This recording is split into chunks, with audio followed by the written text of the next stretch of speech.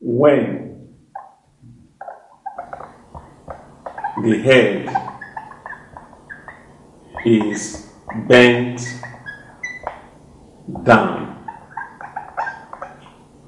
the otolith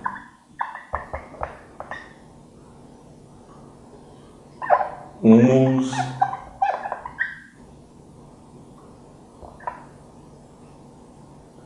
due to force of gravity. By so doing, it pulls on the sensory air cells that in turn stimulates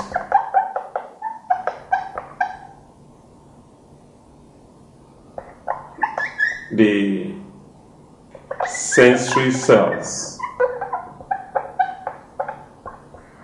in the vesi or in the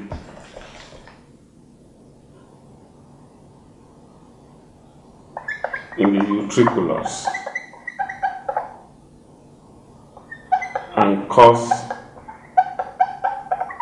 causes impulses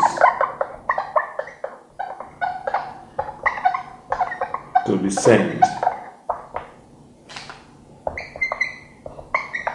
to the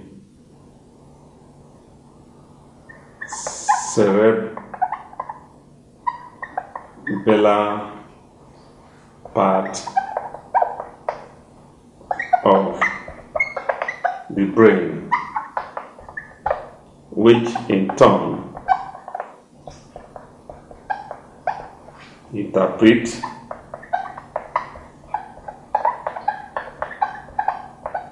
the signal and directs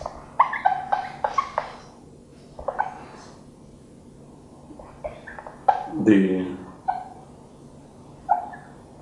correction of the position of the head.